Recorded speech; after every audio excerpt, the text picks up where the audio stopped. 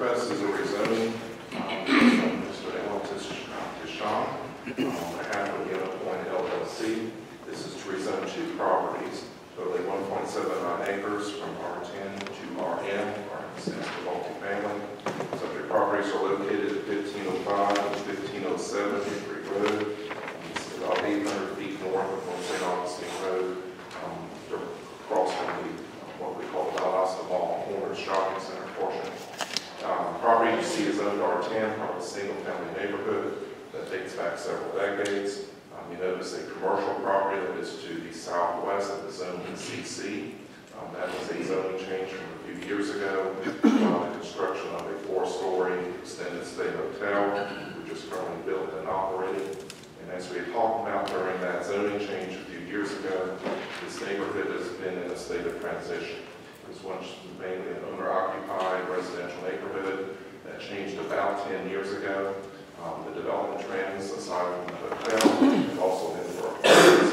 And you see the large RM tract in the back of the neighborhood, which is a fairly large existing apartment complex. Um, The applicant is proposing to sort of begin the process of filling in the middle uh, with multifamily development to match those trends. Um, Character area, community activity center, um, it is more intensive than what we normally see, but it's associated an even more intensive commercial area around the Valdosta Mall. R10 zoning is non-compliant with a character area because it's simply not intensive enough. Um, Community activity center calls for a higher density residential zoning or commercial zonings, and certainly the applicant's request fits in with that. Aerial imagery, you see the rooftops of the existing apartments. Um, This image was taken before the hotel, which you see the large four-acre tract where the hotel currently sits. Most all of those other structures currently remain. Many of them are rental houses and also one small mobile home park. Uh, Survey in your package shows the two existing homes. There are two different site plans there. It's 32 apartments in two different configurations that they're showing. Um, This is a two-story variation, which shows four buildings. And the second one is very similar, but it is two buildings of three stories each.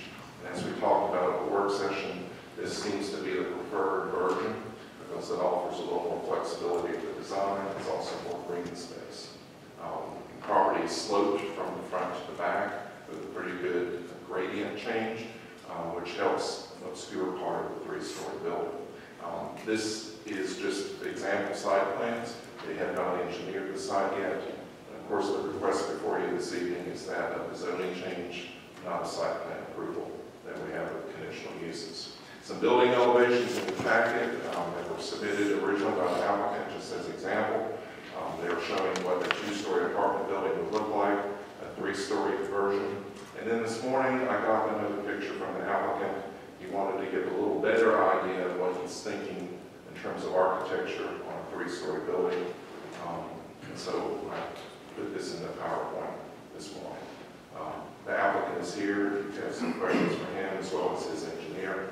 Um, With with all that, the planning commission reviewed this at the independent meeting. They found the zoning request consistent with the comprehensive plan and the standards for exercise of zoning power, which are in the packet, and the recommended approval of the chief. Try to answer any questions you may have. Any questions of Matt on this item? From council?